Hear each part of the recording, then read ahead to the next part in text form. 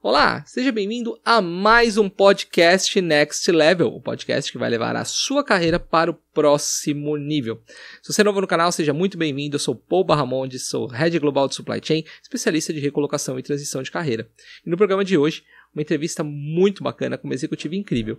Mas antes, não se esqueça de se inscrever no canal, ativar as notificações, curtir, comentar e compartilhar, que isso nos ajuda a trazer cada vez mais pessoas incríveis para gerar insights para sua carreira.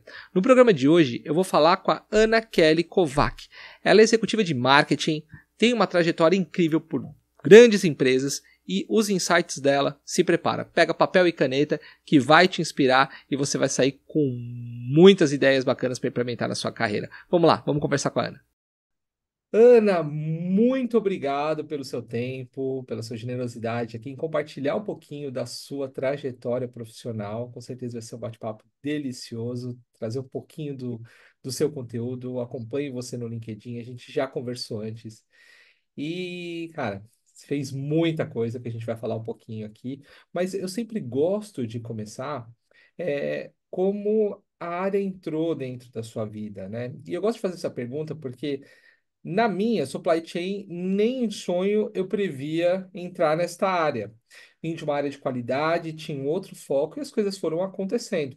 Eu vou falar para você que muitos dos executivos que eu encontro falam que realmente aconteceu também. Pouquíssimos são aqueles que já tinham tudo planejadinho, tudo direitinho e tudo aconteceu.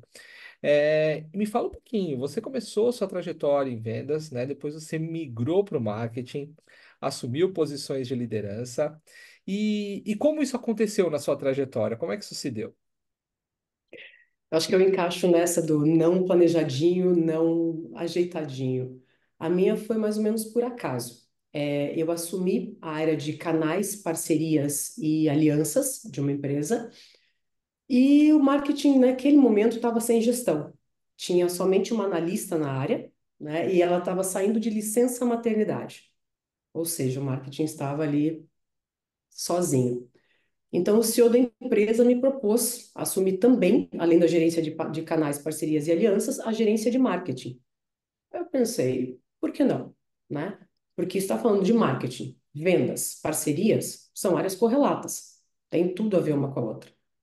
Então, acabei assumindo e fiquei com mais um chapéu nessa época. E a adaptação foi bem rápida, na verdade, porque a empresa ela estava numa tocante, uma pegada de crescimento muito rápido. Só que tinha algum, alguns movimentos que foram necessários ali. É, acho que já nos primeiros 60 dias eu contratei uma agência parceira, que eles nunca tinham trabalhado com uma agência, né? Então, tinha alguns gaps ali para tratar. Então, foi contratei uma agência, mudei a logo da empresa, 25 anos de logo, nós fizemos uma alteração porque foi necessário, ali tinha uma, uma dificuldade de leitura, de entendimento, cada cliente falava de uma forma o um nome, então para ficar um pouquinho mais coeso e mais fácil de entender. Mudamos a logo, mudei 100% do site, completamente, virou outra coisa, reestruturei a área e seguimos. E vou te falar assim, eu me apaixonei por marketing. Foi algo que caiu na minha vida literalmente, mas foi uma paixão assim repentina. Que legal. É, eu, eu, particularmente acho que todas as pessoas deveriam uh, estudar marketing é, desde a sua desde, desde a escola, porque assim é, para você aprender a se vender pessoalmente, porque é uma coisa que a gente não aprende ao longo da nossa uhum. jornada profissional, né? E mais ainda, para a gente poder aplicar essas técnicas dentro da empresa e ajudar a empresa também, porque no final do dia, eu acredito fortemente que se todos os colaboradores tivessem um pequeno viés de marketing e soubessem vender, eles estariam ajudando empre as empresas a crescer, né? E eu vejo que muitas Com pessoas certeza. acabam fugindo do, de vendas, né? E até é, tem um livro do, do Ai, preciso lembrar o nome dele agora. Do Daniel Pink, que saber vender é da natureza humana, mas as pessoas acabam fugindo dessa área de vendas. E mais ainda de marketing, que está muito atrelado à criatividade, né? Que as pessoas ainda atrelam à criatividade. E, e você tem um amplo viés na área de parcerias, que é uma das vertentes do marketing muito importante, né? Parcerias Sim. estratégicas. E, e, qual é a sua visão? Primeiro, em relação ao marketing, você vindo de, da área de vendas e assumiu marketing, e como é que você agora vê o marketing é, nessa por esse prisma né, de quem veio de vendas? E mais ainda, como é que você vê essa questão de parcerias estratégicas, né? Quais são os pilares essenciais, né, para você construir e manter relacionamento de longo prazo? Na verdade, para mim acabou sendo até mais fácil, porque, como você comentou, como eu vim da área de vendas, ali foram 15 anos trabalhando com vendas, eu tive a facilidade de enxergar uma ação ou uma, uma campanha é, justamente pelo olhar de vendas. Porque normalmente tem aquela briga dentro da empresa, né? Marketing que é uma coisa, vendas que é outra, ninguém se entende, no final das contas ninguém, ninguém fica satisfeito. Aí tem uma Mas máxima, né, consegui. que, que uma pessoa até me falou, uma- um mentor meu me falou assim, é, marketing tem que demitir vendas e vendas demitir marketing, né? Que eu acho que é esse É conflito que você está citando. É justamente isso. Então, quando você consegue alinhar a visão, e você tem que entender que no final das contas, todo mundo trabalha em prol do mesmo resultado, que é vender. Então, marketing é uma ferramenta de venda super importante. Super importante. E quando você consegue alinhar, juntar essas duas áreas de uma forma bem coesa, flui que é uma beleza. Então, você tem que entender o olhar também do, do muitas vezes, o olhar do comercial para aquilo. Poxa, mas por que que eu estou fazendo isso? Por que que eu estou participando desse evento? Por que que eu estou perdendo, abre aspas, o meu tempo aqui neste local? Não é perder tempo, você tem que mostrar para ele o que que isso vai trazer de resultado. Então, conversando bem conversadinho, bem alinhadinho, tudo flui. E parceria, sim, também tive uma experiência bem longa, uma, longos anos aqui com, trabalhando com parcerias, com gerência, gerência de canais, é, com fabricantes. Então, parcerias para mim, é, uma parceria de sucesso sempre começa com aquela máxima, né? Quem eu quero também tem que me querer, porque não adianta Perfeito, ser unilateral.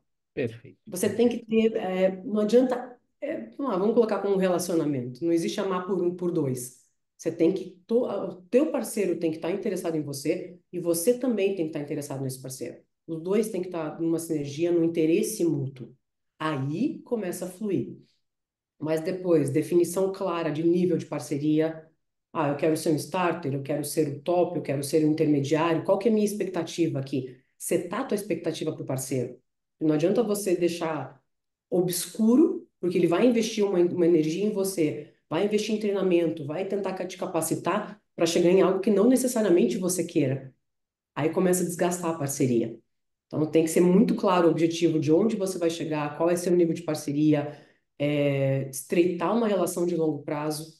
E assim, pode parecer muito óbvio que eu vou te falar agora, mas relacionamento. Relacionamento é que constrói uma parceria de sucesso. Que eu sempre digo, você assina um contrato com um CNPJ, mas você trata com CPFs. Então você trata com pessoas. E pessoas demandam atenção, pessoas demandam tempo, pessoas demandam é, assertividade, demandam. É, é um relacionamento. Então, quando você consegue construir com os teus parceiros um relacionamento forte, é, que você esteja sempre aparecendo, você tem que ser visto, estreitar a relação, ser lembrado. E não adianta, quem não é visto não é lembrado. Você tem que estar ali o tempo todo com ele e fazer acontecer. E olhando pelo lado técnico, né? Treinamento, treinamento, treinamento e capacitação. Não tem, não tem como fugir disso. Mas os pilares são esses. Mas para mim, iniciando sempre na frase: quem eu quero também tem que me querer. Nossa, você, olha que perfeito. Você me trouxe agora uma, um insight. Você falou, poxa, no final do dia não, não dá para um amar por dois, né? Não. E, e certa vez eu vi uma, uma palestra online mesmo, né, que acabou virando um meme depois, é, de uma pessoa falando que assim, ah, num relacionamento, muitas vezes, a, a gente às vezes pensa que tem que ser 50 e 50%, mas no relacionamento, em alguns momentos eu vou ter que ser 80 e você vai ter que ser 20, né? Você vai ter que ser Uhum, 80 e eu tenho que ser 20. E, e aí me remeteu justamente. a parcerias com, com fornecedores, e eu, como supply chain, né, também faço parcerias estratégicas, por isso que você está trazendo é perfeito, onde muitas vezes eu precisei que o fornecedor fosse 80% e eu era 20%, como muitas vezes eu tive que falar para ele, não, cara, eu sei que você não vai conseguir, pode deixar que esses 80% eu Uhum, faço, faz o 20% agora você. E, e uhum, isso que você está trazendo, é, pela perspectiva do marketing, é fantástico, porque no final do dia, isso é parceria, né? Eu te complemento, você me complementa e os dois ganham. Mas exato. Ganha, ganha. é uma visão diferente que você está me trazendo, porque num, numa, num momento do mercado onde nós queremos cada vez mais extrair e reduzir, como é que, quais os desafios que você enfrentou para você poder construir essas parcerias duradouras? Porque você fez assim vários eventos e de muito sucesso. E olha, se vocês Uhum. olharem ali, pessoal, no LinkedIn da, da Ana, você vai ver o quanto de coisas que foram feitas e, e, e parcerias de sucesso que foram construídas. Mas com certeza você enfrentou desafios ao longo dessa jornada. Como é que foi isso? Muitos, muitos, muitos, muitos, muitos desafios. Ah, o primeiro, acho que acredito que seja budget, né? Quando você fala em empresa, você fala em evento, você fala em parceria, é budget. É você fazer o máximo possível com o mínimo que você tem. Então, você tentar extrair o máximo, você tentar trazer, ser diferente, fazer diferente com, com o que você tem em mãos ali. Acho que esse é o principal desafio. Nem sempre os parceiros têm budget, né? Nem sempre eles têm verba. Muitas vezes você tem que entrar com esse valor na frente ali, um upfront, e mostrar que realmente, não, eu tenho interesse nessa parceria, eu vou investir aqui. Você investe comigo com um know-how, traz um palestrante, é, me ajuda com conhecimento técnico, que eu vou com a parte financeira. Eu compro a cota, eu escolho a cota, faço uma ativação legal, escolho um brinde maravilhoso, escolho o lugar, mas eu preciso do background do cara. Então, é o ganha-ganha. Só que muitas vezes o meu é o 80%, você falou. Eu entrar com esse 80%, estrutura, tempo, o evento em si e pedir para o parceiro ali a, a, o conhecimento técnico dele, porque ninguém é melhor do que ele para falar do próprio produto, né? A interagir, colocar um técnico nosso também, mostrar um know-how, mostrar sinergia, é, mostrar a solução, que, mas também cada vez mais o mercado não quer mais ouvir falar de produto. É difícil você chegar hoje num, num evento, você chegar falando, ah, eu vou falar aqui sobre uh, esse mouse. Não, o cara não quer saber sobre o mouse, ele não quer saber do que é feito, ele não quer saber o que está aqui. Ele quer saber como esse mouse pode ajudar na realidade dele, no dia a dia dele. Então, como eu posso mostrar para o cliente o valor que tem essa, essa, essa solução? Como é que eu posso mostrar a sinergia, o valor da minha empresa com esse fabricante? Como que nós podemos levar para ele a melhor solução possível? Então, é isso. Acho que o maior desafio é hoje você conseguir mostrar para o teu cliente, né, o teu diferencial no mundo em que muitas empresas fazem a mesma coisa, né? Mas o que que você pode levar diferente para ele? E tendo parceiro ao teu lado, tendo fabricante do teu lado, é um peso muito diferente, muito diferente. Que bacana. E como as empresas elas podem explorar os eventos? Porque assim, é, eu vejo que poucas empresas têm essa visão. Acha que o evento é simplesmente jogar dinheiro fora. E um evento, Não. ele é extremamente estratégico, seja para você projetar a sua marca, né? Seja para você é, ter ali, criar alianças e mostrar o peso da sua marca para o mercado, para os clientes, para os seus parceiros. Mas no final do dia, o que que a gente quer num evento? Gerar lead e gerar negócio, Lead. né? Gerar lead e gerar futuramente oportunidades através desse lead. E como as empresas elas Uhum. podem utilizar desse artifício, né? Eu tenho, co- inclusive, eu vou, vou postar, não está no ar ainda, já gravei com ele, mas vou é, postar um bate-papo que eu falei com o Fernando, né, da Informa Markets, que é uma das empresas que fazem grandes eventos aqui no Brasil. E assim, e a visão é o quanto realmente o evento é uma extensão do CNPJ da empresa a ponto de projetar a sua marca. Como as empresas podem se beneficiar disso, Ana? É, foi o que você comentou. Você tem que olhar para o evento, qual é qual que é a expectativa deste evento. Nós temos hoje, vamos lá, vou te dar um exemplo do segmento tecnologia, que é o segmento que eu estou hoje. São, se eu for fazer todos os eventos que eu tenho no ano, ultrapassa os 200 facilmente, entre eventos locais, regionais, nacionais, internacionais. Então, se você for para todos os eventos, não passa dos 200. Muito simples. Então, você tem que escolher, muitas vezes, qual é aquele que eu preciso estar que ele vai fortalecer. Para mim é branding, é fortalecimento de marca. Não necessariamente ele vai me trazer leads. Não é essa, de repente, a intenção desse evento. É o fortalecimento de marca. É um evento de grande porte, eu estar lá é uma, é uma representatividade. Eu não vou citar nomes de fabricantes, mas tem alguns eventos de fabricantes no Brasil que é o que você tem que estar. É você associar teu nome àquele fabricante, àquela marca, e você estar é um diferencial. Não importa como você vai estar, e na menor cota, na maior cota, isso também é independente, mas é estar presente. Eventos de algumas, algumas associações, necessário. Então, você posiciona onde o que, o que esse evento vai trazer para você. Branding, alguns leads, muitos deles trazem sim leads, onde você consegue palestrar, É, colocar uma palestra é extremamente importante, porque não adianta você estar ali simplesmente com o stand sorrindo, né, distribuindo café e brinde, é, água, água e folder não faz mais um evento, não tem mais como fazer. Então, levar uma palestra com conteúdo relevante, levar uma palestra que tenha sinergia com o que o evento está apresentando, para ter atratividade, levar um fabricante de peso que esteja com você, que possa estar com você nesse evento. Então, isso faz muita diferença. Eu posso te falar que eu saí, quando eu entrei na empresa, eu saí de uma média de 8 a 10 eventos por ano para uma entrega de 88 no último ano. Uau! Então, assim, como equipe super enxuta, três pessoas, agência apoiando, mas de 8, literalmente 8 para 88. Então, foi uma marca, até contando alguns próprios ali, passou disso, deve ter batido os 90. Cara, e, e evento é uma coisa que, assim, dá muito trabalho. Eu participo de Muito. eventos, já estive nos bastidores dando suporte para empresas em eventos, e eu vou em eventos e dá realmente muito trabalho. E você, dentro da sua trajetória, né, é, é latente o quanto realmente você consegue trabalhar com equipes enxutas e em alta performance, né? E isso requer Uhum. uma liderança absurda. O que que você acredita nesta área de eventos que realmente é trabalhar sob pressão? Eu digo que é quase que você trabalhar dentro de uma cozinha de um restaurante ali, Ah, né? Que é. tudo tem que cozinho, funcionar. É, então, é, tudo tem que funcionar direitinho, tudo tem que sair, o prato tem que É, é chegar quente e timing, ali é, perfeito. é É, é, timing. E, e quais características, né, você acredita que são importantes para você in- inspirar e encorajar essas equipes? Porque ali é o pessoal trabalhando ali dia e noite para fazer aquilo acontecer e no final é, ainda tem o pós, né, que é fazer o debriefing, ver quantos leads foram captados e fazer o trabalho e passar para vendas o quanto ela precisa realmente agir após o evento. É, como, como, como, né, isso acontece?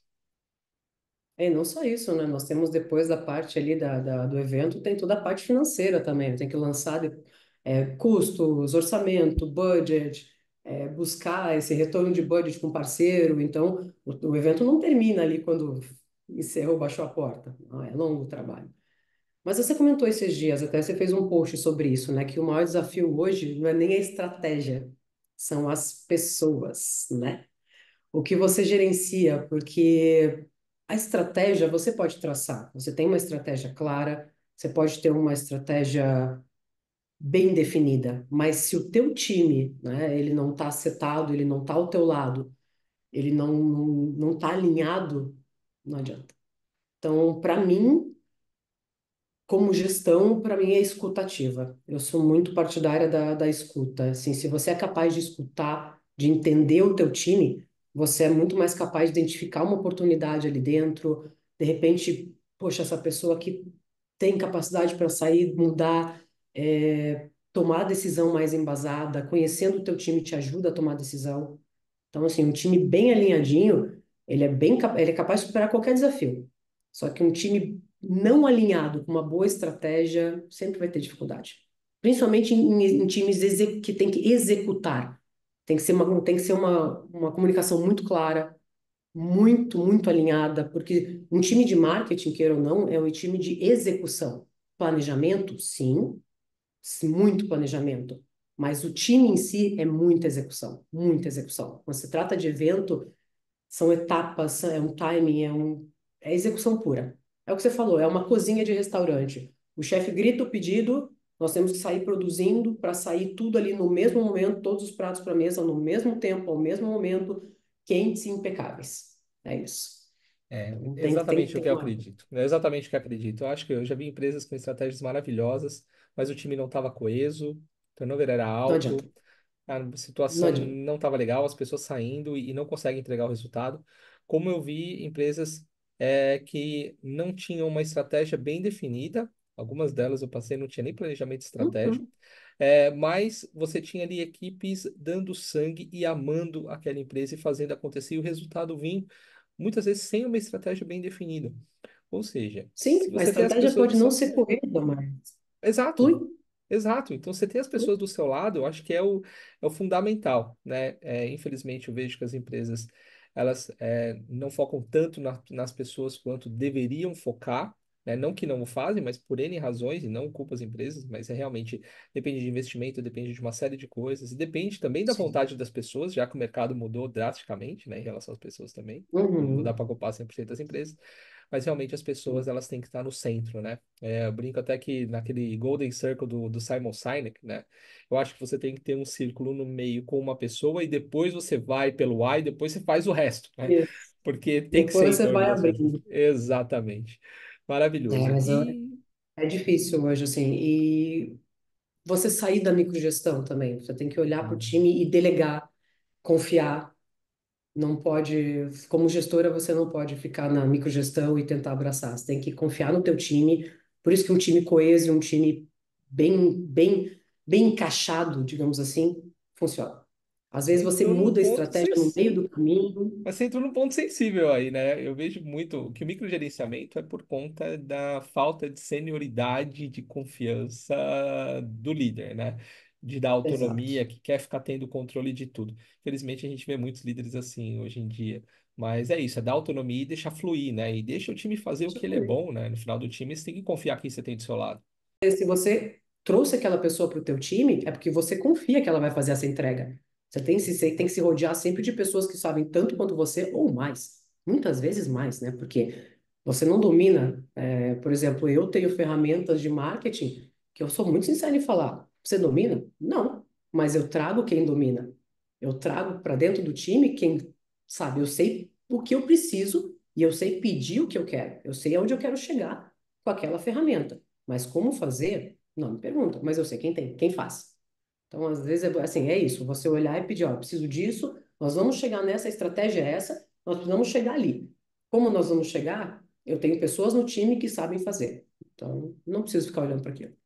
Nossa, espetacular. É, É muito difícil você ver as empresas hoje, por exemplo, focarem. Elas querem o hard skills, mas elas focam nas entrevistas no.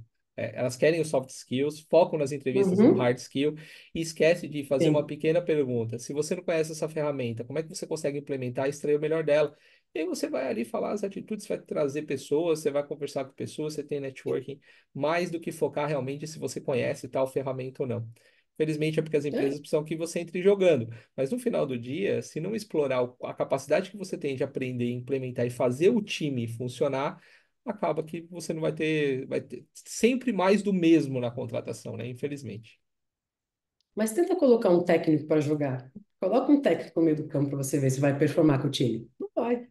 Então, você tem o técnico e os jogadores. Você tem um diretor, é o técnico, um gerente é o técnico, um coordenador é o técnico.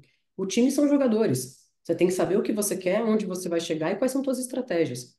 Mas tem que colocar o time para jogar. Se o time não joga, se, teu, se você não solta teu time para jogar, não vai para frente. É, Não vai. perfeito.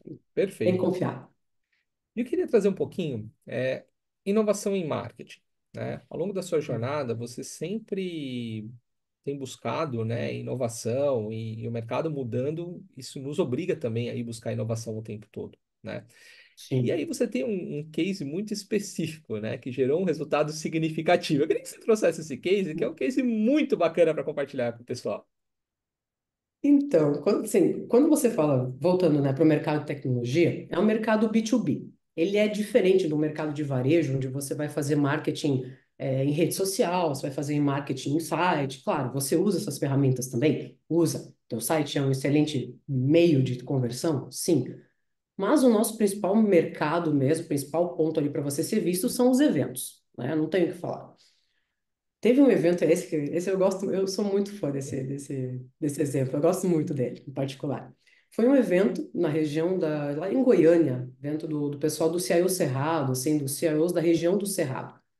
E quando nós entramos no evento, as melhores cotas já tinham sido negociadas, nós entramos um pouquinho tarde ali. Isso é muito importante, você está no evento desde o início para pegar as melhores cotas, escolher o que, o que você quer fazer. Aí nós entramos um pouco tarde e tal.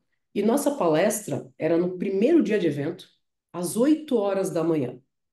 Você sabe que os seus saem, passeiam, estão com as famílias, então às 8 horas da manhã não é o melhor horário possível, né? Aí o que que eu pensei? Falei, o que que eu posso fazer para me diferenciar? Vamos sair do mais do mesmo. Aí comecei a olhar a estrutura do, do local do evento tal. Falei para o pessoal da organização, falei, vou colocar um balão Ele já, como assim, um balão, um balão é, inflável? Eu falei, sim, mas um balão, um balão de verdade. Posso? Aí todo mundo parou e falou, como assim? Eu falei, não, tem, tem um espaço aqui, já falei com o pessoal do balão, para cada metro que ancora a lateral, eu posso subir um metro. Então, se eu tiver aqui 40 metros de ancoragem lateral, meu balão sobe 20. Se eu tiver 30, né, subo 15. Então, depende do vento e tal, mas o balão vai subir. Ah, pensa, imagina um balão, balão gigantesco, roxo, imenso, contra aquele céuzão lá de, de Goiás, aquele final de dia, com as logos das empresas, três logos, Arken subindo, fogo subindo, ele começava a funcionar lá pelas 5 da tarde e até as 8 da noite. Só que as logos apareciam, iluminado, tudo tinha uma iluminação específica. Aí eu pensei, bah, todo mundo vai querer subir nesse balão, né? Os CIOs e as famílias dos CIOs. Então, para chamar atenção na minha palestra, eu divulguei na abertura que seriam colocadas três palavras-chave no meio da palestra. Três apresentadores, cada um deles colocaria a palavra-chave. Bem fácil, na verdade, ali já, até dando a dica. Lotamos a plenária. E as palavras vouchers, as palavras-chave seriam trocadas por vouchers para subir no balão, o CIO e a família. Lotamos a plenária. Lotamos. Oito horas da manhã aquilo estava lotado. Todo mundo. Claro que depois, mesmo quem não tinha a palavra-chave, nós liberamos para usar o balão. E foi muito legal porque durante aquele final de semana, o evento foi quarta, quinta, sexta, sábado e domingo. O balão ficou na quarta, na quinta, sexta e no sábado. A região, assim, na, nas redes sociais da, do, dos participantes, só dava o nosso balão. As famílias subindo, o pessoal subindo, fazendo selfie, fazendo foto, fazendo vídeo. O pessoal pedia para voltar, subir, brincar que estava subindo com o balão. Eu consegui 12% de seguidores, aumentamos em 12% o número de seguidores orgânicos, tanto no Instagram quanto no LinkedIn. Então, total formato orgânico, divulgação em todos os locais, até os concorrentes subindo no balão, não tinha como não ver nossas logos. O cara tentava cortar, dava um jeito, mas não dava. Todo mundo sabia que era o nosso balão. Até os concorrentes fazendo a divulgação para a nossa marca, só que de uma forma mais sutil, claro. Então foi muito emblemática. Essa, dois anos atrás, aconteceu há dois anos, e ainda hoje, alguns participantes desse, desse evento me perguntam quando é que vai ter balão de novo. Aquilo foi assim, uma marca. Uma marca. espetacular, porque você trouxe, você pegou num, num desejo do CPF que você comentou no início, né? De você ter uma Sim. experiência diferente. Pode ser que a pessoa nunca tenha imaginado subir no balão, mas foi uma experiência que estava ali. muita gente nunca tinha subido. Exato, e, e, e às vezes ela nem queria subir, mas você proporcionou um momento de algo assim, eu vou fazer alguma coisa diferente que talvez eu não faça mais.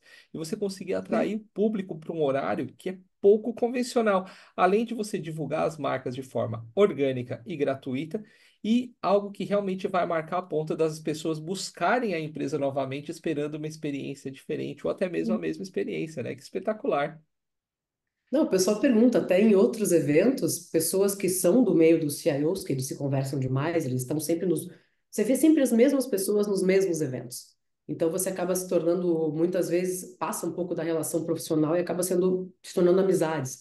Eu tenho muitas, muitas pessoas com quem eu convivi esses anos nos eventos, que estão nas minhas redes sociais, são amigos, enfim, troca de, troca figurinha de viagem, de experiências. Eles perguntam, e aí, quando é que vai ter balão de novo? E aí, quando é que eu vou poder... Ah, minha filha não foi naquele evento, quando é que vai ter de novo para minha filha poder subir? Então, a, a expectativa vem, isso com certeza. Ou pior, eles pensam assim, aí o que que você vai superar? O que que vem na próxima? É um avião? É um helicóptero? O que que vai vir? Porque a tendência, assim, é sempre você tentar superar o que você fez no anterior também, né? Mas A expectativa, você gera expectativa. Mas no começo, quando você deu a ideia, provavelmente você foi chamada de louca, né? Como é que foi Ah, foi. convencer todo mundo disso? Porque assim, é, no marketing é aquela história, você tem uma ideia, aquilo é intangível, é difícil você medir. E por mais que você pe- pega benchmark de algum lugar, não necessariamente o que foi aplicado lá vai funcionar para você. Como é que foi vencer essa resistência? Porque é algo realmente diferente, né? Na verdade, eu sempre tive carta branca para trabalhar na, na, na, na empresa. Então, nunca ninguém olhou para mim e falou: não, você não vai fazer isso. Está dentro do budget? Consigo fazer? É, é seguro? Principalmente isso. Assim, a primeira, a primeira preocupação nossa foi segurança. Aí eu fiz uma. a- a- acho que o, o impacto maior ali não foi nem. É uma ideia louca. Sim, era uma ideia até um tanto louca, mas a principal preocupação, tanto minha quanto da organização, era com o quesito segurança. Então, ah, fizemos uma reunião com o pessoal que faria, a, que cuidaria do balão, é, ancoragem, quantas pessoas poderiam subir por vez, é, se o vento virasse, por exemplo, é, eu, eles tinham total liberdade de parar com a ação, então, porque isso é muito acima do que eu gostaria ou do que a empresa gostaria. Não, é segurança. Tá, virou o vento, as condições não estão favoráveis, não sobe. Então, isso era um acordo entre nós. Se tiver qualquer risco, pode, pode parar com a ação, independente se começou há cinco minutos atrás ou se não vai mais ter. Não. Teve qualquer sinal de problema, pode parar. Então, nossa maior preocupação nesse caso era a segurança. Mas aí, com o aval, com as reuniões que nós tivemos da organização com o time da ancoragem, com o pessoal, com o nosso time também, então, quando eles viram que seria completamente seguro, sem problema nenhum, aí liberaram. Ai, espetacular. Nesse caso, foi, foi só, só a segurança. Mas, enfim, eu já tive algumas ideias de fazer, tem alguns eventos que são ali em Florianópolis, no Costão do Santinho, na beira. Eu já quis colocar barco para a gente levar clientes tal, mas aí o quesito de segurança é um pouco mais, mais sensível, né? Então, aí nunca consegui implementar por essa questão. Mas quem sabe um dia. Eu acho um naviozinho, alguma coisa bem grande que não tenha perigo, aí vamos colocar. Que bacana. Mas É por enquanto eu possível, não sempre, consegui. sempre é É possível. possível, mas ainda não foi. Mas vai dar certo, com Esse certeza. Você vai voltar aqui para contar essas, essas histórias aí, essas coisas criativas e que, e que geram muito resultado. É, mas eu queria explorar um pouquinho, né? é, você é uma pessoa que tem uma presença muito forte no marketing, em eventos e no segmento, né? E tem muita gente que nos assiste que, que gosta de saber, né, como é, construir uma carreira em marketing, como consolidar uma carreira em marketing. É, que dica que você daria, né? Que conselho você daria para os profissionais que estão buscando construir é, uma nova carreira nessa área tão é, criativa, tão apaixonante que é o marketing? Acho que a primeira é se você realmente gosta disso, porque marketing é entrega, né? Eu digo que eu passei, eu sempre gostei de estar presente em todos os eventos, porque até pelo feeling, para entender os próximos, que você entende um, você, cada evento é único, não tem como você falar assim, ah, eu conheço todos, não, não conheço. Então, cada evento é único, cada evento é tem o seu formato, as suas dificuldades, as suas seus desafios, suas oportunidades. Então, esteja presente, né? Participe o máximo que você puder. Às vezes isso é um pouco difícil por questão da gestão, se você já é um gestor, se você já é uma gestora, mas tente estar no máximo possível presente, porque a presença você capta, você tem feelings, você tem, você consegue entender um pouco melhor o teu público, né? O que que eles esperam, o que, quais são as expectativas, como você pode se superar às vezes numa uma coisa muito simples, você consegue fazer diferença é, sacolas, vamos, vamos dar um exemplo. Muita gente coloca o brinde, dá, entrega brinde na mão do cliente. Só que não entrega numa sacola legal. Só que ele vai colocar o teu brinde dentro da sacola do teu concorrente. O que que adiantou? Nada. Então, se ele depois ele vai, vai olhar, vai, vai levar para casa? Não necessariamente. Se ele tiver com uma mala de bordo, um exemplo, é, você vai dar um kit vinhos ou um kit queijos para um cliente homem num evento de dois dias fora da cidade dele. Ele tá com uma mala de bordo. Ele não vai conseguir levar o teu brinde, vai acabar ficando no hotel. Porque tem objeto cortante que só pode ser despachado. Ele não vai despachar uma mala por causa de um brinde. Então você perdeu dinheiro, tempo e o desejo do cliente, porque ele queria levar aquilo, mas ele não vai levar porque não conseguiu. Então você criou uma frustração ao invés de uma, de uma experiência boa. Então você tem que olhar. Às vezes você não sabe que o teu cliente está ali com uma mala de bordo. Só na conversa você vai escutando, ah, eu, não, homens normalmente viajam com uma mala pequena. Então, esteja presente. Isso faz muita diferença. Converse com o teu cliente, esteja no stand. Muitas vezes eu preferi não contratar recepcionista e estar no stand na função de recepcionista. Por quê? Porque eu sei falar da minha empresa, eu sei para quem eu direciono, eu sei captar um lead, eu sei depois passar para quem é de direito aquele lead. Então, você consegue fazer um dois em um. Você entende, você conversa, você faz amizade. Então, é muito, muito importante. Esteja presente. Acho que para mim esse é, é uma das dicas que eu dou. É, estude, leia, busque inovação, olhe para o exterior, olhe filmes, olhe feiras, olhe tudo que você puder trazer de inovação. Isso faz muita diferença. Nem sempre inovação ou diferença quer dizer budget alto. Você pode fazer pequenas pequenas mudanças, pequenas coisas que fazem completa diferença. Uma ativação diferente que case com o evento, é, um jantar diferente no local, uma experiência diferente. Então, nem não necessariamente isso quer dizer muita verba. É, produza conteúdo relevante para o teu público, isso é muito importante, muito importante mesmo. É, faça networking, porque a tua rede, quando você está marketing, quando você está gestor de marketing, é fundamental você conhecer pessoas diferentes, é, principalmente acho que networking com parceiros também, com concorrentes e com clientes.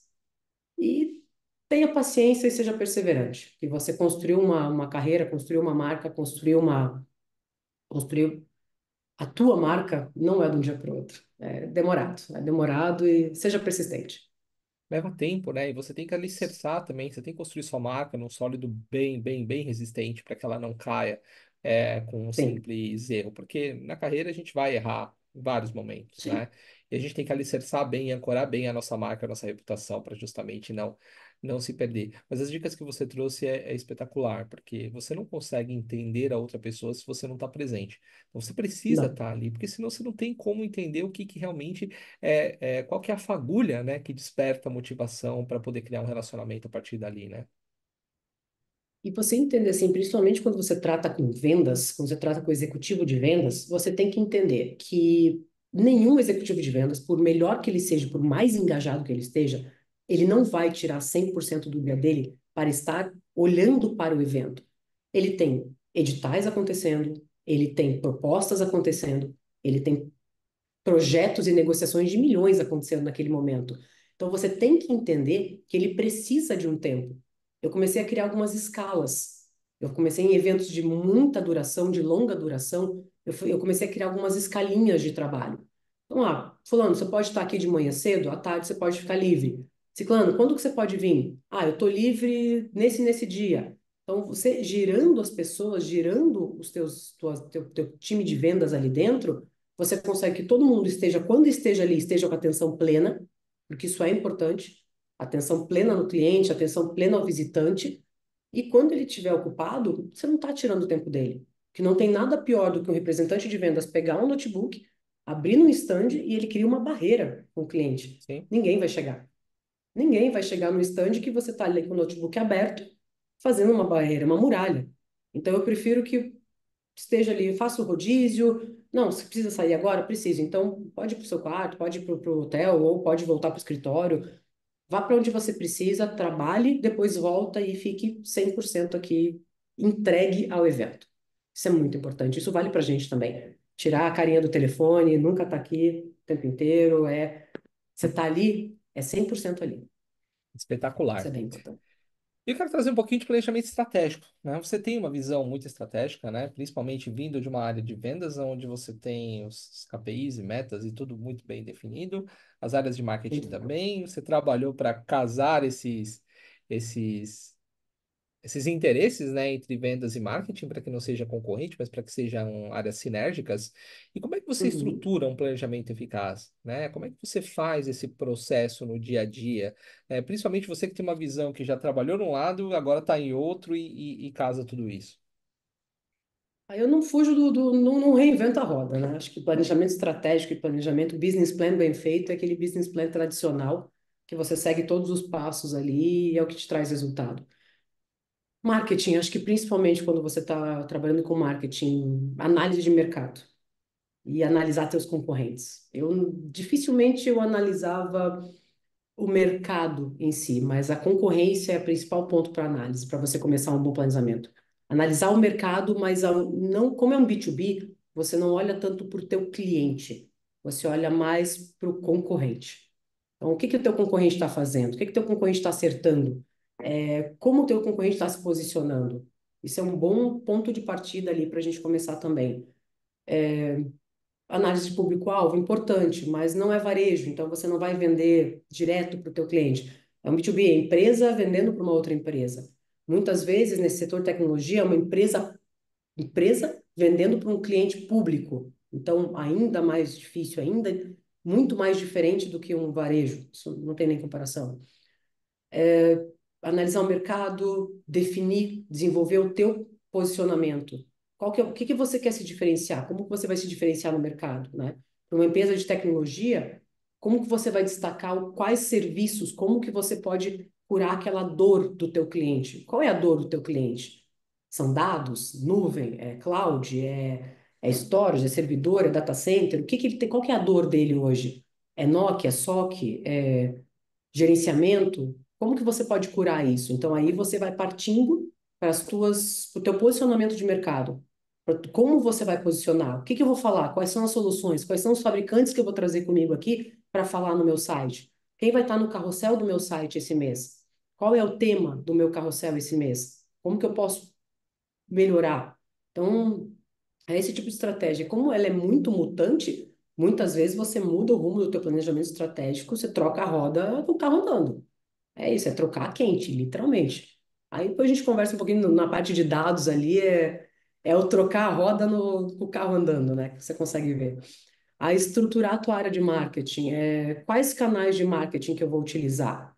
E-mail marketing, é, blog, SEO, redes sociais. É... Só que aí, olhando com muito cuidado para LGPD. Nós temos hoje os formatos que eu posso coletar marketing. Como eu posso coletar dados de marketing? Como eu posso coletar dados do cliente? Eles estão de acordo com o L, com LGPD? Sim, então vai. Como que eu vou manter esses dados? Então, hoje é um pouco mais difícil, não é mais só você coletar dados, é como eu vou manter esses dados, como eu vou organizar esses dados, por quanto tempo eu vou manter esses dados, onde eles serão guardados, porque tudo tem que se adequar hoje à LGPD. Eu acho que eu vou te falar assim, acho que numa empresa a área de marketing deve ser a parte mais ofensora de LGPD sempre, né? Porque assim, você tenta ir em conformidade, mas sempre escapa alguma coisa. Então, Não, você tem que está estar muito atento. diretamente as empresas agora, porque assim, se você não aceita os cookies, você não consegue coletar dados. Se você não coleta dados, você não Não, consegue colocar uma campanha otimizada para a pessoa. Você precisa da não. autorização da pessoa, ou seja, isso está impactando assim imensamente a área Totalmente. de. Totalmente. Se a pessoa não aceita receber meus e-mails, eu não posso mandar um e-mail marketing. Não posso nem mandar um e-mail de agradecimento de participação no evento. Não posso mandar nada. Tem que ter um aceite da pessoa, claro. O aceite tem que ser claro, o aceite tem que ser próprio para aquele motivo. Coleta de dados, é, ainda mais quando você trabalha com dados de terceiros que vêm de uma, de uma, de uma. Você tem que ver se o contrato que você está fazendo com o teu, com o evento, ele prevê que ele possa compartilhar com você os dados daquele cliente. Se ele não prevê, você sai de lá sem dado nenhum. Então, é um contrato que, além do teu contrato com o evento, você tem que ler e saber qual é o contrato do cliente, do participante com o evento também. Eu sempre pedia para ver, porque muitas vezes, no fim do, no fim do dia, você saía sem nenhum tipo de, de, de, de, de contato ou nenhum tipo de uso para aquela ferramenta. Não podia nem compartilhar a, a lista de participantes, porque o cliente não deu esse aceite.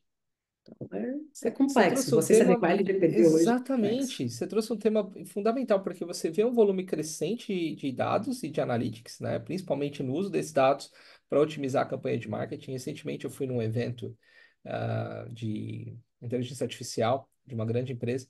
É, e assim, houve é, uma palestra onde se falou assim que o, marketing vai ser transformado, porque você vai chegar num local, Uhum. você já vai ter o reconhecimento facial, as pessoas já vão receber os Uhum. dados, já vão saber o que que você gosta, o que não, você já vai entrar no local onde as pessoas já praticamente te conhecem, sem que você nunca Uhum. tenha entrado ali. Isso é maravilhoso pela perspectiva do marketing de otimização de experiência.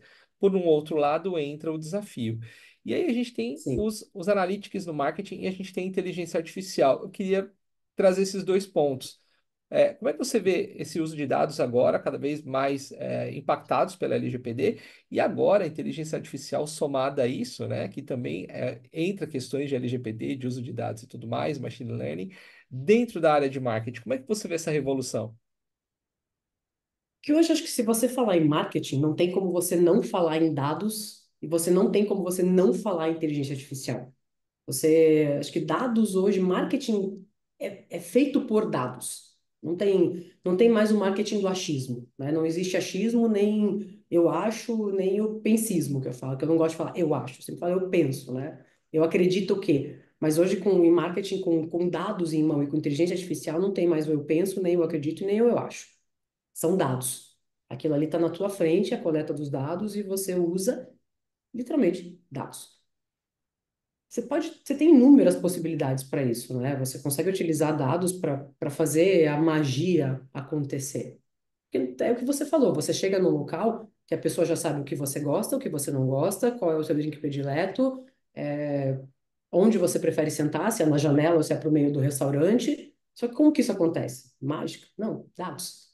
Então, como é que você usa isso? Para nós de marketing hoje, ao mesmo tempo em que esse uso de dados é bom, também é um desafio, porque são tantos dados, tanta informação, tanto tráfego, tanta informação que você tem, que chega no momento que você fala, tá, mas como que eu vou filtrar isso aqui? Como que eu vou utilizar isso de forma assertiva?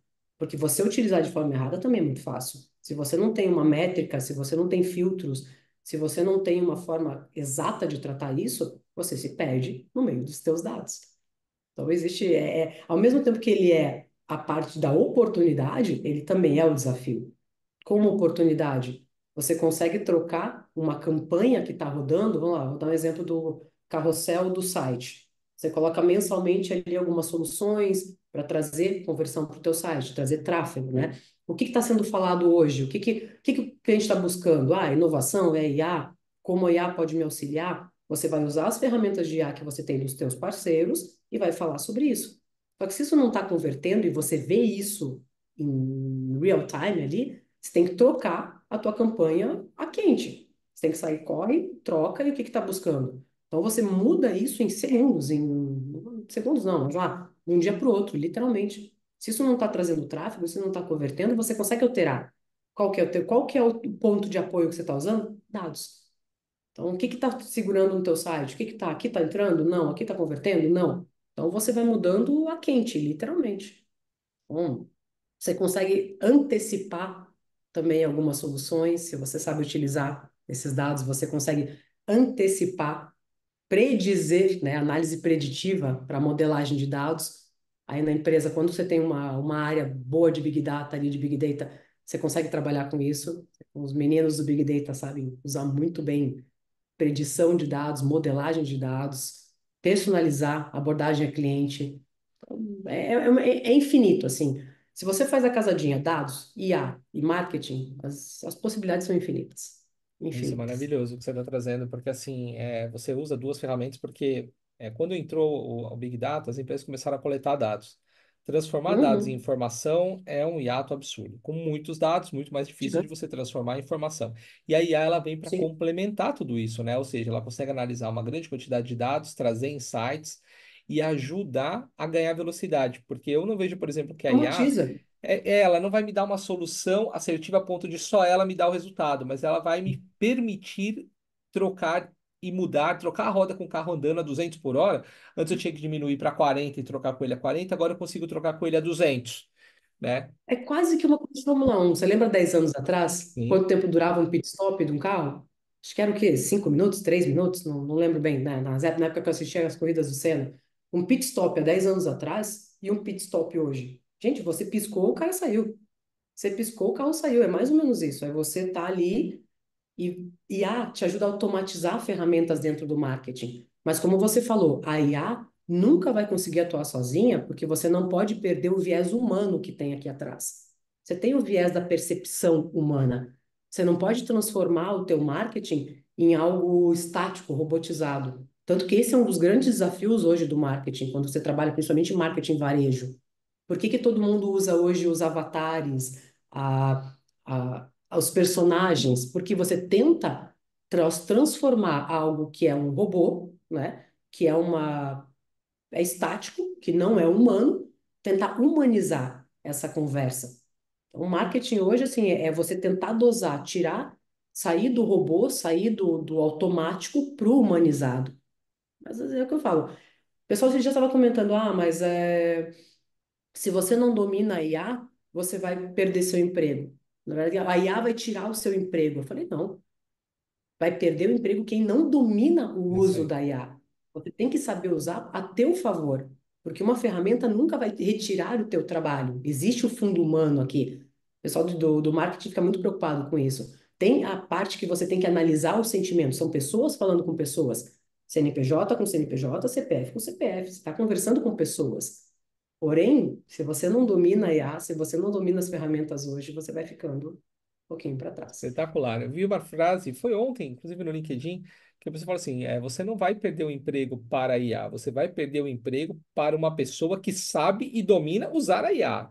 Fato. É isso que aí ela vai, É ela vai usar a- a- a- o feeling humano, aquela questão, aquele olhar, associado com ferramentas de alta performance e, e vai extrapolar aí o resultado, né? Mas aí vem um grande desafio dos times também, né? Que você manter o teu time atualizado, treinado, porque as plataformas mudam todos os dias. Cada dia que você pisca, você abre o olho, você dá aquela passadinha na, no LinkedIn de manhã cedo. Eu sigo muito, muitos perfis que falam sobre IA. Cada dia que passa, você vê mais, mais, mais, mais. Eu falei, gente, para, calma lá. Vamos, o que, o que, que tem de, o que, que eu posso usar aqui? Quais são as ferramentas que eu utilizo para o meu dia a dia? Essa, essa e essa. Então, ok, vou olhar para isso, isso, isso por enquanto. Daqui a pouco eu começo a olhar um pouquinho mais, porque você também não consegue se atualizar na velocidade que elas são lançadas. Então, você também tem que saber filtrar, você não pode entrar em modo desespero, porque senão você não segue. Tem que saber o que você quer, aí também é o foco, né? Qual é o meu foco aqui? Para que que eu preciso disso? Para que que eu vou utilizar? Se você tentar correr atrás, você vai perder mais tempo pesquisando sobre do que utilizando. Aí você vai ter uma perda de tempo, não otimização do seu tempo. É mesmo porque tá mudando tanto, você vai passar a sua vida só estudando, né? Ah, na hora que eu masterizei, essa aqui mudou. Aí daqui a pouco Não, masterizei, acabou. mudou. Ou seja, é mais fácil pegar aquela ferramenta que ela vai ser útil para você naquele momento e utilizar e tirar resultado dela do que você ter que ficar só, né, estudando as novas atualizações. Porque há Não, pouco tempo atrás a gente estava com 3.5, agora a gente já está no 4 Omni, já com uma série de 4.0. outras ferramentas, com Claude, com Gemini, com dentre outras ferramentas que estão chegando por aí. E é só o começo. Só o Não, começo. esse é só o começo. Isso é só, é só a pontinha, nós não vimos nada ainda. Então, daqui a pouco você vai ter ferramentas assim que, como eu brinco, como os dados são a mágica, daqui a pouco é mágica não, é, é David Copperfield. Você não vai nem acreditar. Então, é, tá- é, é muito rápido. Hoje é, é- a mudança é muito rápida. E você tem que mostrar para o teu time também que também não tem que entrar nesse desespero. Trabalha com o que a gente tem hoje, vamos focar aqui. Não, mas isso, eu falei, calma. Se você vai procurar o isso, isso, isso, nós não vamos fazer nem bem feito o feijão com arroz. Vamos fazer o que a gente tem aqui hoje. Olha para isso sim, se você conseguir, estuda, se especializa, mas não leva isso como desespero, porque você não vai perder teu emprego porque você não é mestre em uma IA, mas você tem que saber utilizar. Ah, vai No demorar mínimo muito para as pessoas perderem o emprego ainda com a IA. Não vai ser tão simples assim. Vai levar muito tempo. Não. Porque é o que eu falo, o viés humano tá ali. Ah, não, Não não tem, não como, tem né? como. Até o Kotler, pai do marketing, acabou de lançar o livro, né? é, Human to Human. No final do dia, é isso que vai importar. Por mais que você tenha inteligência Uhum. artificial, no final do dia, ainda vale a conversa, vale o networking, vale a sua criatividade. É isso que vale. É o feeling, é o teu Exatamente. feeling. Exatamente. Mulher gosta muito dessa expressão, né? Nós mulheres gostamos muito do feeling feminino, mas nosso feeling é bom, não tem o que falar. Feeling feminino é. Vamos Não, é entrar naquela aí. discussão Isso é inigualável. CEOs. O feeling feminino não, não tem o que bata. Ana, estamos chegando para o final aqui. Eu falei para você que passa muito rápido, tem, tinha muito assunto para a gente falar, rápido. mas eu queria trazer dois, dois temas antes da gente fechar. É, Uhum. um, falar sobre a transformação do marketing, né? Como você enxerga o futuro do marketing e como o marketing está se transformando digitalmente, agora que tudo está na palma da mão, tudo está na nuvem, né? Então é uma Uhum. transformação importante. E, no final, dá uma dica de livro, filme ou série que está te inspirando pessoalmente. Não necessariamente precisa ser de marketing, mas algo que está te inspirando. Vamos lá. Sobre dados ali, sobre desafios, sobre mudança, sobre mudança de marketing. Acho que hoje, com dados em tempo real, né, que a gente estava conversando, você tem acesso a dados em tempo real. Isso já é uma mudança significativa. Você já consegue fazer muita coisa. Hoje você não tem mais aquele tempo que você tinha de teste, como antigamente. Ah, fulano, é, vamos usar ali 5 mil reais para testar numa ferramenta. Não. Você começa ali com 200, 300, faz o teste rapidinho, funcionou, muda, não muda. Então, acesso a dados em tempo real faz uma diferença incrível hoje para gente. Então, já é uma grande mudança. Buscar personalizar a experiência do cliente, porque não tem, não, eu estava falando lá no início, você criar experiências, você criar uma experiência diferenciada faz muita diferença. Você acaba sendo lembrado por isso. Então, sai do sai do mesmo, vamos fazer algo que possa criar uma experiência. E no digital você consegue isso também. Com quem? Com os dados, com o IA, você consegue participar disso. Você consegue engajar em tempo real com clientes, né? Você consegue trabalhar com os clientes ali, redes sociais, chat, tempo real, não tem o que falar. Automatiza o que você puder de atividade de marketing, porque saída do que for a, a microgestão, algumas atividades podem ser automatizadas com o uso de IA e te ajudam muito no dia a dia. Né? Isso te ajuda a não perder seu emprego, mas ganhar tempo para fazer o que você faz de melhor dentro do teu trabalho. Sim. Conseguir ser gestor, conseguir executar de forma perfeita ou o melhor possível aquilo que você está fazendo. Sai do, do pequenininho para olhar para o grande. Né? Todo mundo pode fazer isso hoje com automação. Treinamento, é, leitura, acho que isso é imprescindível no dia a dia. Né? Não tem muito o que fazer, não tem muito o que falar. Tem que estar tá sempre se atualizando, lendo. Você já não gosta, eu sempre falo, eu sempre leio um livro que é da minha área junto com algo que não é. Então, eu vou lendo os dois ao mesmo tempo, quando eu canso de um, volto para o outro, às vezes três livros ao mesmo tempo. Então, isso é bem comum aqui. E uma série que me inspira, eu vou te falar que eu estava assistindo agora Revenge, de novo. Não por inspiração, mas eu acho que é uma série que ela te ensina muito sobre mente humana ali, sobre manipulação, sobre como você consegue. Você. Como é que eu posso colocar isso num, num bom termo? Mas. Acho que é mais é, é sobre as mentes humanas. A forma que você se mostra de uma forma e, no fundo, não, não é, bem, é bem aquilo. Como você consegue alcançar um objetivo.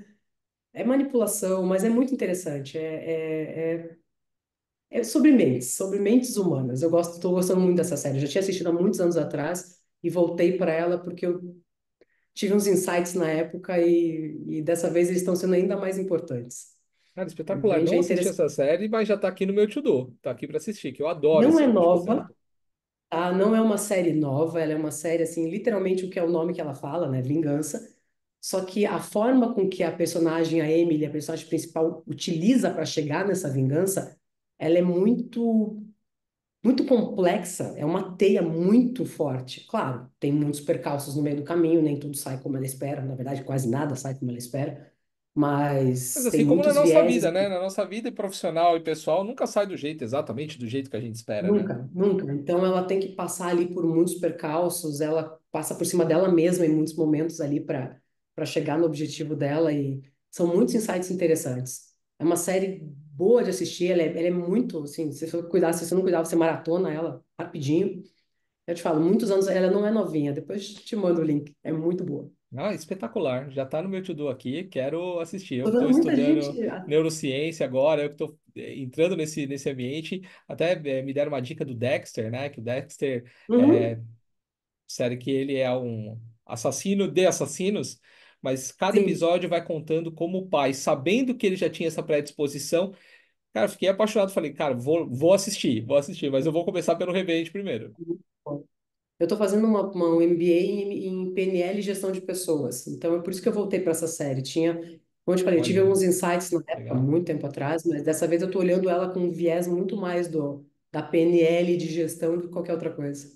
Muito interessante. É interessante que você começa a associar os teus conhecimentos profissionais ao que a gente está assistindo. O pessoal fala, ah, assistir série é perda de tempo. Não, não, não é. Depende do que você não. assiste.